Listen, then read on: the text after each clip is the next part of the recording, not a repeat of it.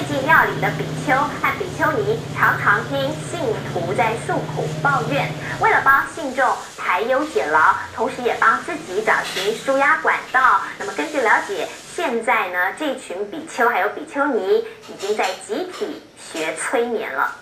开始放松，摆脱任何可能在胃的压力。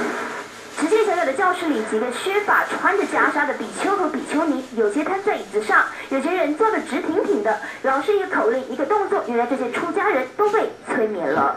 右手更轻啊，右手跳得更高，右手跳得，右手往上，右手往上，右手往上，左手往下，左手往下。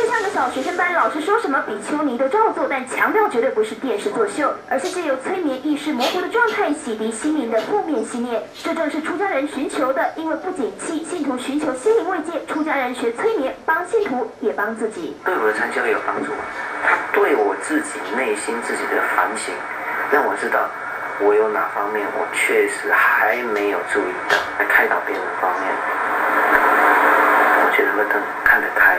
是这样，放松。师傅说，刚接触时也是满心怀疑，但体验后发现有更轻的思绪开导信徒，催眠就像潜能开发训练。进来以后，你才能够认清自己。觉察之后，你的敏感度就会提高。换句话说，你就是开智慧。